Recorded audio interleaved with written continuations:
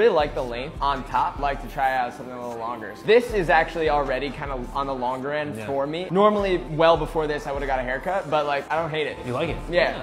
What did you have in mind for the sides? I think at least definitely a little cleaned up. Like when it mm. gets kind of like like that around the ears, I don't love that too much. The stage over here right now, it's it's still able to go forward and kind of get some texture going on. Okay. And brushed over to the right still. I actually like what you're doing there kind of a lot. The little fall on the front. Yeah, I like the way it frames your face Yeah. for sure. I love wavy hair because it's so versatile. When you have it come down, it frames the face beautifully, in my opinion. I want to keep the, the middle section right here and the sides connected. Let's make sure we do some bulk around this area. Where it's flat against the head, let's just go as tight as possible. I mean, if, you, if you're comfortable showing skin, let's show some skin. I'm down. How you mad she choosing me? You a dive, you know what she was doing to me. We been swiping spit for a little while, this shit ain't new to me. Acting like I'm chasing her or something, she be pursuing me. Can't hold you.